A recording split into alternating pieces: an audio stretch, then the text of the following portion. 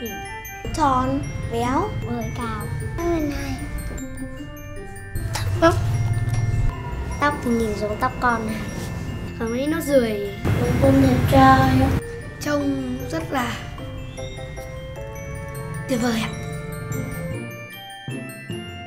Bởi vì bố chăm sóc gia đình rất là vất vả. Bố dùng chân để làm máy bay cho con. Bố làm con ngựa xong rồi cho hai anh em con cưới lên ạ. Vì bố nấu ăn ngon ạ.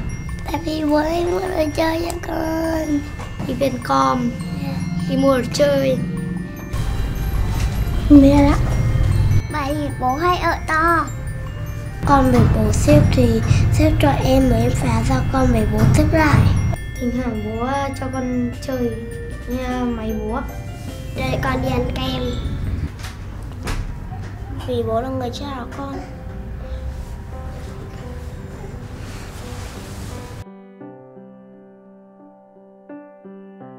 Đông Timor ạ. Peru ạ, Nam Mỹ ạ, Mozambique ạ. Tanzania. Nước Lào.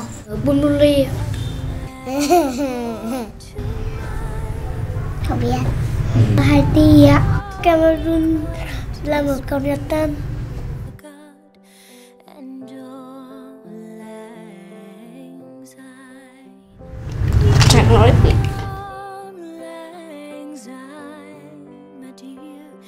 Bố.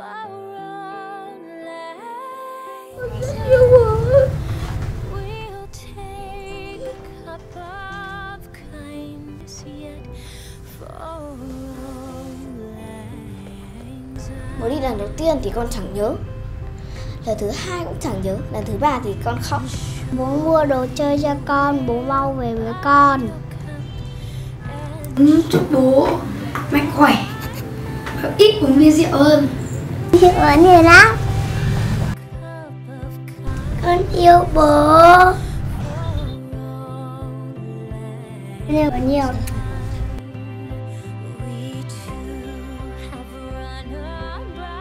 Chúc bố trắng lớn, khỏe mạnh. Và mau về với bọn con để chơi với con Con yêu bố. Con chúc bố mạnh khỏe. Ờ, Làm việc tốt. Con con nghĩ sau bao nhiêu tháng ngày làm việc vất vả Thì bố có thể có một ngày nghỉ. Chúng con yêu bố. Nè We wish you